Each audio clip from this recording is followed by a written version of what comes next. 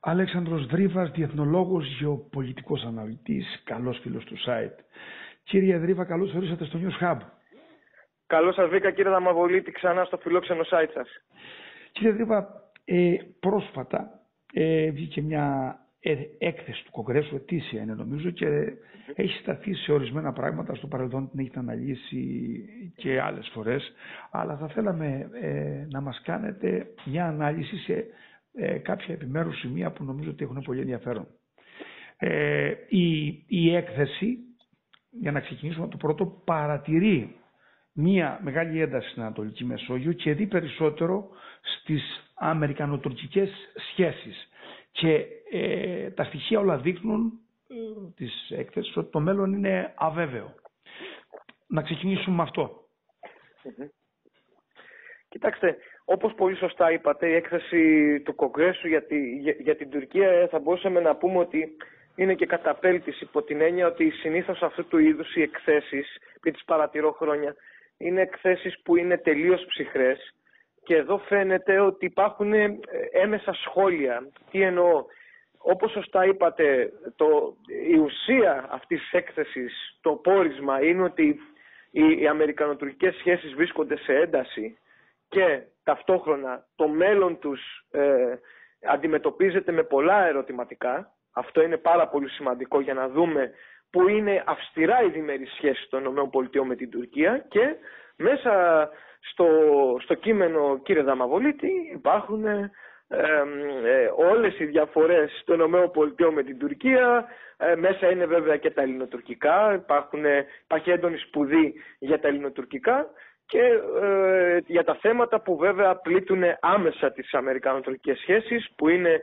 ε, η, η, προμήθεια της ε, Τουρκίας των S400 από το 2017 και η έντονη συνεργασία της Ρωσίας με την Τουρκία για θέματα στρατιωτικά, η αποστολή στρατιωτών έμεσα και άμεσα στη Μέση Ανατολή και στον Κάφκασο, έτσι όπου βοηθά το Αζερβαϊτζάνι η Τουρκία, ε, η ένταση που προκαλεί στα, στα ελληνοτουρκικά, οι απειλές ε, και μην ξεχνάμε, έτσι είναι και το θέμα της Λιβύης, όπου έχουν πει πολλές φορές οι Αμερικανοί να αποχωρήσουν όλες οι ξένες δυνάμεις από εκεί. Οι Τούρκοι μέσω εκπαιδευτών αλλά και άλλων και καλυμμένων σταθετικών δράσεων υπάρχουν στη Λιβύη και ε, ε, συνδημιουργούν αυτό το δηλητηριώδες κλίμα αφού το αποτυχημένου μέχρι στιγμής κράτους.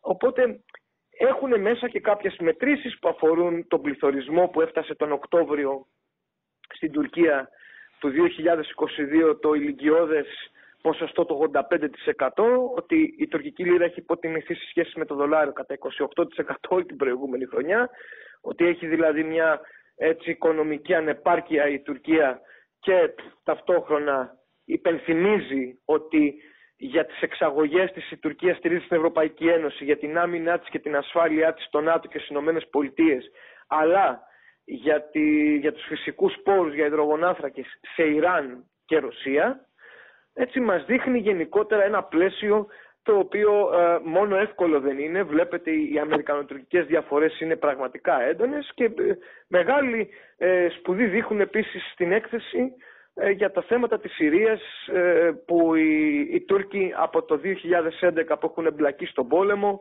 ε, ε, απειλούν και σκοτώνουν καθημερινά ε, τους συμμάχους των ΗΠΑ, τους YPG, έτσι, τους Κούρδους ε, mm της Συρίας. Όλα αυτά, άμα τα βάλετε στο blender που λέμε, δημιουργούν ε, εύλογα και το, το πόρισμα. Το πόρισμα το οποίο είπαμε ότι είναι οι αμερικανοτουρκικές σχέσεις σε ένταση, και ερωτηματικό για το μέλλον τους. Σε, σε, σε ένα σημείο θέλω να σταθώ ε, πριν να περάσω στα υπόλοιπα. Είπατε για τους S400 και για την έντονη ανησυχία που ε, περιγράφει η έκθεση όσον αφορά τη σύσφυξη των σχέσεων Τουρκίας και Ρωσίας. Αυτό ε, πού πιστεύετε ότι μπορεί να προεκταθεί; Είναι βέβαιο κύριε Δαμαβολίτη το εξής ότι οι Αμερικανοί είναι πάρα πολύ προβληματισμένοι για το ότι η Τουρκία δεν έχει υιοθετήσει τις κυρώσεις εναντίον της Ρωσίας, είναι μόνη η χώρα που δεν τις έχει ε, υιοθετήσει και όχι μόνο αυτό, έγινε ασφαλές καταφύγιο οικονομικής δραστηριότητας των Ρώσων ολιγαρχών. Με λίγα λόγια, αυτή τη στιγμή το μαύρο χρήμα στην Τουρκία έχει ξεπεράσει κατά πολύ τις παλιές καλές εποχές που η Τουρκία είχε και άλλο μαύρο χρήμα από άλλους οργανισμούς, από άλλες ομάδες, από άλλα κράτη.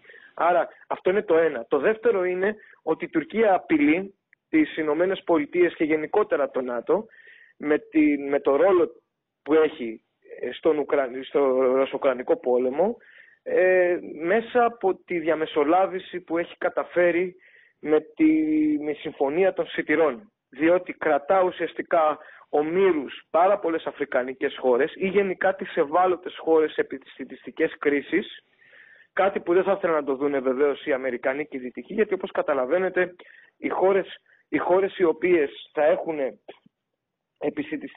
επιστημιστική ανασφάλεια θα έχουν και πολιτική, πολιτική αστάθεια.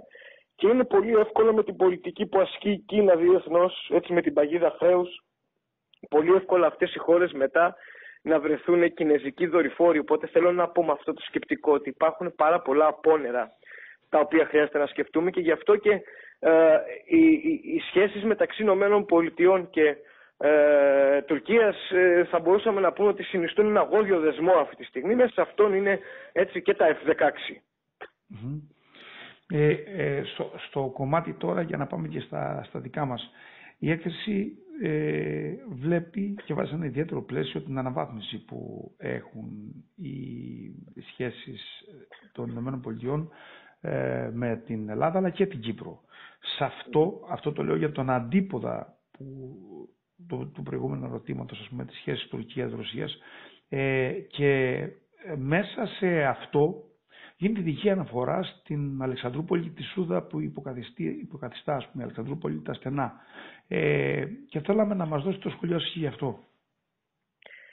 Πράγματι στην έκθεση υπάρχει, γι' αυτό είπα ότι είναι μια, μια έκθεση η οποία έχει κάποια σχόλια μέσα έμες, έτσι, και τα έχει εμέσως ε, βάλει δίπλα σε κάποιες αναφορές και διαπιστώσεις. Ε, λέει ότι το 2022 εντάστηκαν οι ελληνοτουρκικές σχέσεις ε, οι οποίες κρίνονται ως μακροχρόνιες έτσι, διαφορές και τα λοιπά και συνεχίζει και λέει ότι ήταν μια χρονιά λέει που ταυτόχρονα εκείνη την περίοδο οι Ηνωμένες Πολιτείες ε, ε, έχουν πολύ καλύτερη στρατηγική συνεργασία με την, με την Ελλάδα, την επάυξαν. Ε, υπάρχει ρητή αναφορά στο ρόλο της Αλεξανδρούπολης που λέει ανησυχεί τους Τούρκους πάρα πολύ αλλά από την άλλη οι Ηνωμένες Πολιτείες λένε ότι ο ρόλος Αλεξανδρούπολης αυτή τη στιγμή είναι πάρα πάρα πολύ σημαντικός για τα όσα γίνονται στην Ουκρανία. Εδώ μπορούμε να προσθέσουμε εμείς σίγουρα ότι το μεγάλο μας όπλο στο Ρωσουκρανικό πόλεμο είναι η Αλεξανδρούπολη και πρέπει να τη διαπραγματευόμαστε έτσι γιατί λέμε συνήθως για το ρόλο που παίζει η Τουρκία ε, στην, ε, στην, στο Ρωσοκρανικό. Όπως είπαμε, ο, ο ρόλος ο σημαντικός είναι στην συμφωνία με τα σιτηρά, όπου από, μόνος, από, από μόνη της αυτής η συμφωνία είναι επισφαλής, διότι ξέρετε ότι όπου να είναι πάλι, ο πόλεμος στην Ουκρανία θα αγριέψει. Άρα, πάντοτε αυτή η συμφωνία ε, είναι υποαίρεση, γιατί είμαστε σε πόλεμο. Άρα, όλες οι άλλες προσπάθειες της Τουρκίας για διαμεσολάβηση υποτιθέμενη ήταν πιο πολύ δημόσιες σχέσεις και για να πουλάει ο Ερντογάν ένα διεθνές αφήγημα και παραμύθι. Όπως θυμάστε από τις πρώτες εβδομάδες έσπευσε να ε, κανονίσει μια συνάντηση στην Κωνσταντινούπολη μεταξύ του Πούτιν και του Ζελένσκι όσες φορές και να το προσπάθησε τρεις-τέσσερις έως τώρα γνωστά απέτυχε. Άρα εμείς πρέπει να λέμε και τι κάνουμε εμείς για, για την Ουκρανία. Δεν είναι μόνο ότι στείλαμε όπλα, για μένα ήταν μια ορθή απόφαση. Δεν είναι μόνο αυτό, είναι ότι έχουμε την Αλεξανδρούπολη η οποία πραγματικά βοηθά έτσι, την, ε, ε την υποστήριξη της, της Ουκρανίας από όλη τη δυτική πλευρά. Άρα εμείς συνεισφέρουμε στη σταθερότητα του ΝΑΤΟ και στη λειτουργία του, στη λειτουργικότητά του, ενώ οι Τούρκοι, άμα δείτε, Ω επιχειρήσεις υποστήριξης γίνονται δεν περνάνε από το τουρκικό έδαφος. Ούτε από τον τουρκικό εναέριο χώρο. Άρα αυτά νομίζω μας λένε πολλά πράγματα αυτή τη στιγμή. Αλλά σίγουρα στην έκθεση γράφει ότι την ώρα που η Τουρκία ανησυχεί ουσιαστικά για όλα αυτά ε, και που οι ελληνοτουρκικές σχέσεις ε, είναι γεμάτες παράνομες παραβιάσεις, ε, μιλάμε για παράνομες υπερπτήσεις, για παραβιάσεις η Αμερική με την Ελλάδα έχουν συσφίξει τις σχέσεις τους. Αυτό είναι ξεκάθαρο όπως και ο ρόλος Αλεξανδρόπολης που σας είπα. Ε, για να κλείσουμε λίγο μετά τις εκθέσεως του Κογκρέσου, ε, σε ένα σημείο ε, παρουσιάζει ένα προβληματισμό ότι τα πράγματα είναι ε, έτσι, παγιωμένα στην δεδομένη χρονική στιγμή, όμως αν αλλάξει η ηγεσία στην Τουρκία, όλα πρέπει να τεθούν ε, σε μια νέα βάση. Το ερώτημα είναι το εξής. Προλαβαίνει να αλλάξει ρότα, να πάει ας πούμε προς τη Δύση η Τουρκία από τη στιγμή που η φορά που έχει δοθεί τώρα εδώ και 20 χρόνια έχει μεγαλώσει ας πούμε μια γενιά ολόκληρη με την τάση της Ισλαμοποίησης και ε, την εθνικιστική ας πούμε υφή που έχει δώσει ο Ερντογάν προλαβαίνει να αλλάξει ακόμα και αν αλλάξει τώρα ας πούμε η ηγεσία. Νομίζω η αναφορά στην έκθεση που όντως είναι κάπως, ε, είναι περίπου έτσι, γιατί λέω περίπου. Μέσα τονίζεται, έτσι είναι και η λέξη ίσως. Λέει ότι ίσως κάποιος άλλος πρόεδρος θα μπορούσε να είχε αξιολογήσει πιο θετικά για τη Δύση τις σχέσεις Τουρκίας-Δύσης. Ε, οπότε το ίσως ε, μαρτυρά και μία πρόθεση ουσιαστικά του Κογκρέσου ε, να μην συνεχιστεί, να μην δώσει η Αμερικανική κυβέρνηση ίσως κάποιο προεκλογικό δώρο στον Ερντογάν. Άρα είναι σαν να κλείνει το μάτι λέγοντας ότι δεν πρέπει να στηρίξουμε τον Ερντογάν. Αυτό είναι το ένα κομμάτι. Το άλλο, έχετε μεγάλο δίκιο, αντανακλά ίσως σε ένα μεγάλο βαθμό ε, μια, έναν ευσεβή πόθο που έχει η Δύση και ο οποίος κατά τη δική μου γνώμη θα της ε, στοιχήσει πάρα πολύ. Που είναι ο ευσεβής πόθος ότι η Τουρκία μπορεί να επιστρέψει στη Δύση που γενικόλογα και σαν κλεισιά ακούγεται πάρα πολύ ωραίο αλλά η πραγματικότητα είναι πολύ πιο δυσάρεστη. Πρώτον γιατί έχουμε 21 χρόνια πρακτικά ερντογανισμού ο οποίος έχει αλλάξει την πολιτική κουλτούρα της ε, Τουρκίας άρδιν έχουμε να κάνουμε με μια χώρα η οποία ε, η ίδια μπορεί πλέον με τις δημοσκοπήσεις της να μας δείξει δείγματα γραφής, ήδη στα δυτικά μέσα ενημέρωση υπάρχουν αυτές οι μετρήσεις, ότι 90% των Τούρκων πολιτών, έτσι, εδώ σπάει και λίγο ο μύθος που λέμε περίπου ότι ε, υπάρχει μεγάλο κομμάτι του τουρκικού λαού που θέλει τη Δύση, 90% του τουρκικού λαού θεωρεί τις ΗΠΑ εχθρική χώρα, εδώ δεν μιλάμε για δυσπιστία ή για κάποιον ήπιο αντιαμερικανισμό, μιλάμε για έναν ολικό αντιαμερικανισμό, μαζικό αντιαμερικανισμό, ότι το 74% ε, των ε, ανθρώπων που ερωτήθηκαν θέλουν σύσφυξη, περαιτέρω σύσφυξη με τη Ρωσία των σχέσεων και ένα 63-64% περίπου όπου ε, θεωρούν φιλική χώρα τη Ρωσία. Άρα, προσέξτε, από τη μία ο Ερντογάν έχει προωθήσει μια Ισλαμική ατζέντα η οποία είναι τελείως αντιλητική. Μην ξεχνάμε ότι ε, άλλες εκθέσεις του Κογκρέσου αλλά και του State Department είναι καταθλιπτικές για τα ανθρώπινα δικαιώματα στην Τουρκία και για την ελευθερία.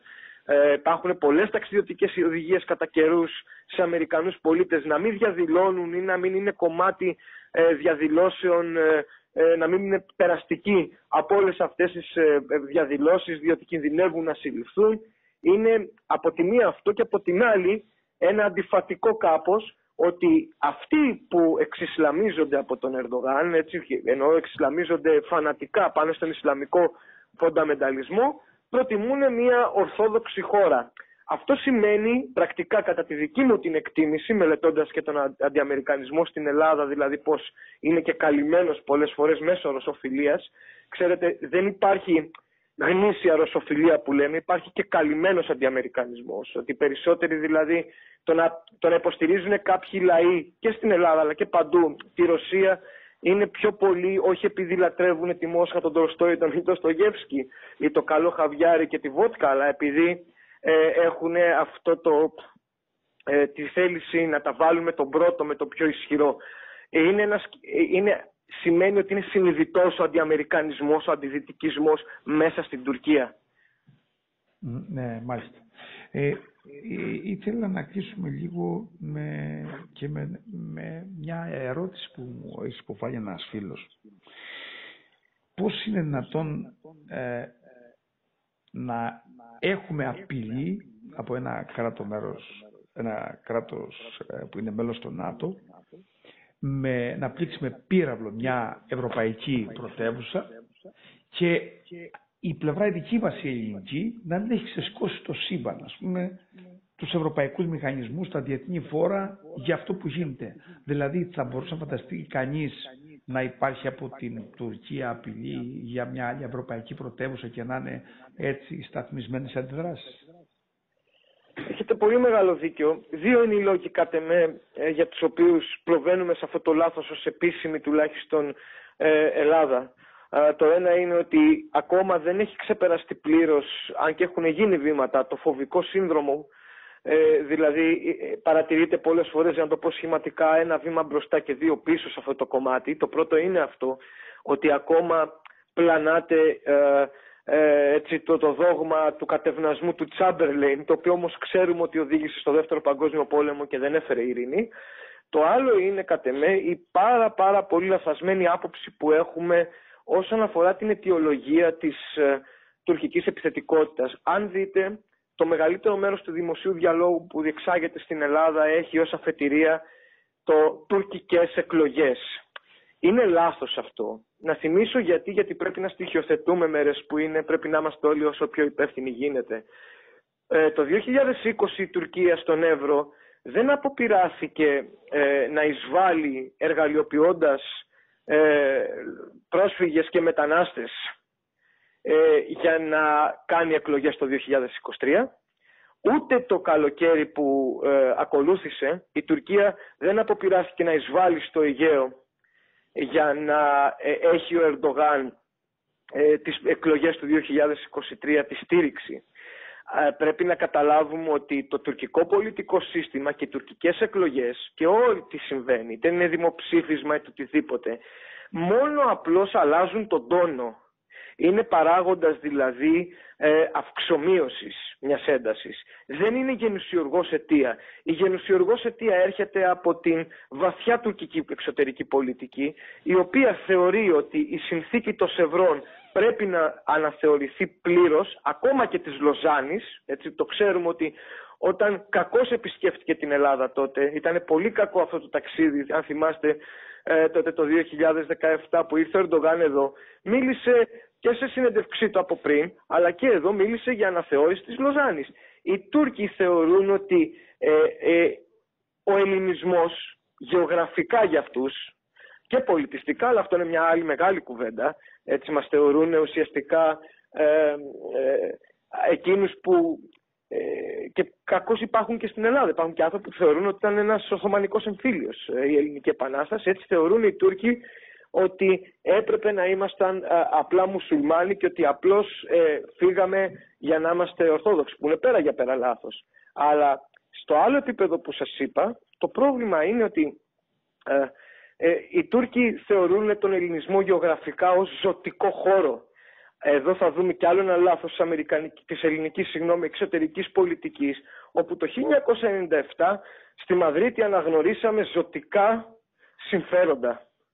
Ε, άρα ε, πρέπει να καταλάβουμε ότι η Τουρκία ε, στην Ελλάδα θα συνεχίσει να επιτίθεται και αυτό που πρέπει επίσης να καταλάβουμε είναι ότι με αυτές τις μετρήσεις αν 90% των Τούρκων πολιτών θεωρεί την Αμερική εχθρό δεν θέλουμε να ξέρουμε τι συμβαίνει για την Ελλάδα. Άλλωστε να επίσης 90-92% ξέραμε λίγους μήνες πριν ότι τους αρέσει η γαλάζια πατρίδα, άρα εγκρίνουν απριόρι οποιαδήποτε επιθυμητική ενέργεια της Τουρκίας έναντι της Ελλάδας, νομίζω ότι έπρεπε να σπεύσουμε να το διεθνοποιήσουμε αυτό. Είναι πολύ σημαντική απειλή και να ξέρετε ότι η απόδειξη ότι είναι σημαντική απειλή ε, οι ίδιοι γερουσιαστές Αμερικανοί ε, τα έχουν βάλει στο μακρύ κατάλογο, ε, έτσι, τον μαύρο κατάλογο των τουρκικών, ε, ε των τουρκικών παραβιάσεων των τουρκικών ρητορικών εξάρσεων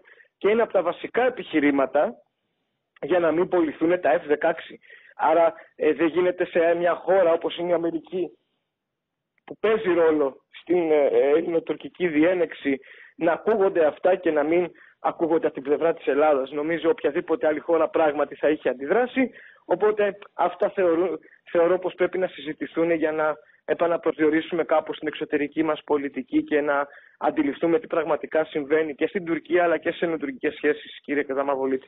Το λέω αυτό για την ε, Ευρωπαϊκή Ένωση, διότι είμαστε μέλος της Ευρωπαϊκής Ένωσης Είμαστε στην ευρωπαϊκή οικογένεια, αλλά το κυριότερο η, η Τουρκία σε επίπεδο εξαγωγών και οικονομίας και συναλλαγών έχει ένα, μια πολύ έτσι, δυνατή σχέση και θα μπορούσε να ελεγχθεί, υπολογίζω, αν τυχόν και γινόταν περισσότερες ενέργειες.